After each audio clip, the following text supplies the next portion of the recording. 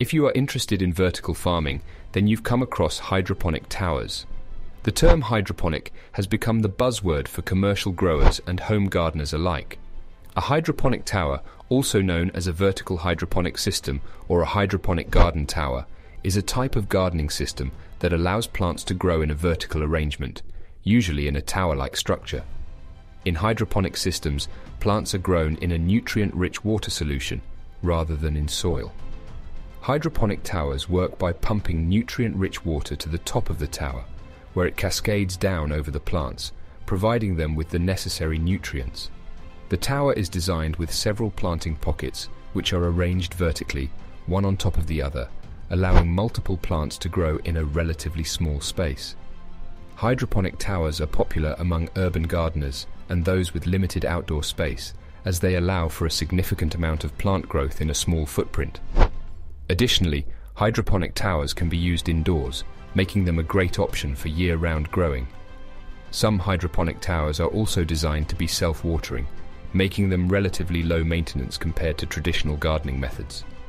In this video, we will go over the basics of what a hydroponic tower is and what you need to know before adding one to your own home or business. Look at the advantages and how you can make one yourself.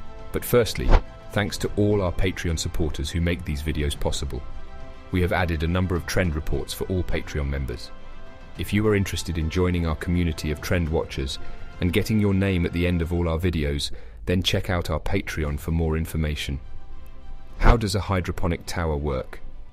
One of the most noteworthy aspects of a hydroponic tower is that it does not require soil to grow strong and bountiful plants.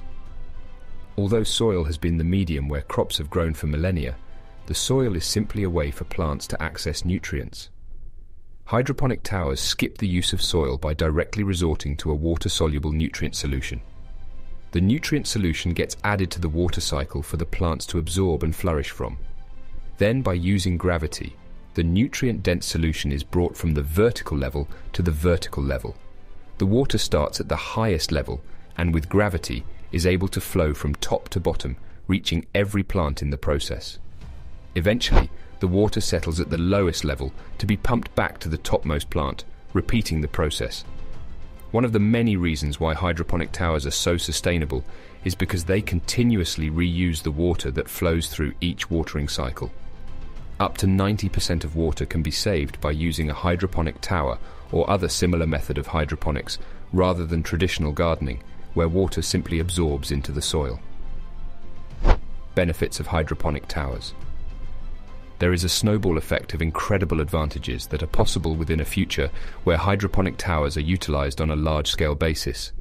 If the use of hydroponic towers is to be adopted by big agriculture, some of the most noteworthy and game-changing benefits consist of by growing upwards, farmers don't need to allocate as much land and increase their potential yield due to the extremely efficient use of space.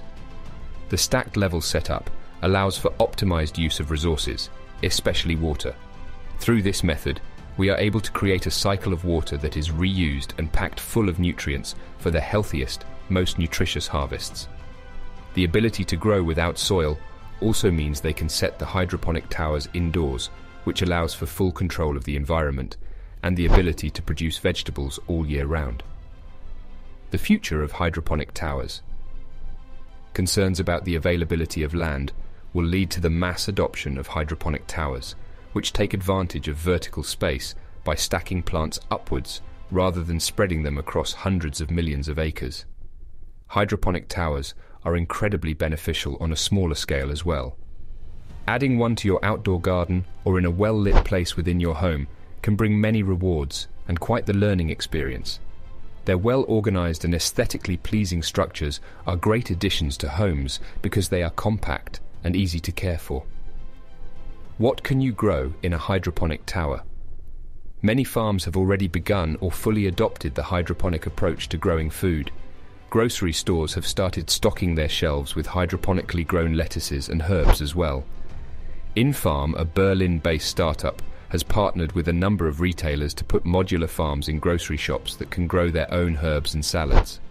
The most common crops grown in hydroponics are lettuce and other leafy greens like spinach and kale, because they are low maintenance and grow incredibly fast. Tomatoes, cucumbers, strawberries, hot peppers, and various herbs are also known for doing well in hydroponic systems.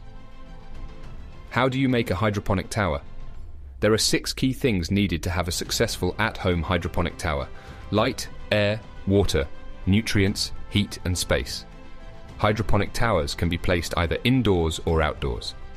Many homeowners are drawn towards an indoor setup if they live in a place with four seasons due to the fact that indoor growing allows for year long production within a climate controlled environment. Yet, whether you choose indoors or outdoors, plants will need 5 to 6 hours of light per day, in addition to electrical access and an area that is protected from too much wind. Once you've checked off all the basic necessities above, it's time to begin assembling your hydroponic tower. There are many ways in which you can construct your own. Most people opt to use a variation of PVC pipes. It's quite simple to secure a PVC pipe upright, cut holes in it for the plants, and put an irrigation line in place. If you want to learn more about the vertical farm industry, be sure to check out our Vertical Farm Trend Report or join our Patreon for access to all our resources.